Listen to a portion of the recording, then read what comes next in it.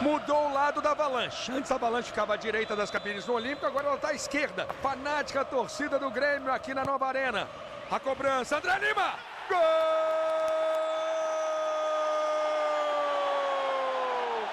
É do Grêmio! André Lima! Ele aciona a Avalanche!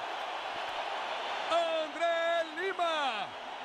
Primeiro gol na nova Arena do Grêmio, com à famosa, a conhecida, a histórica Avalanche.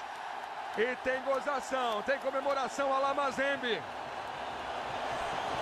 André Lima, de cabeça, um para o Grêmio, zero para o Hamburgo. André Lima coloca o Grêmio na frente e escreve o seu nome na história do estádio.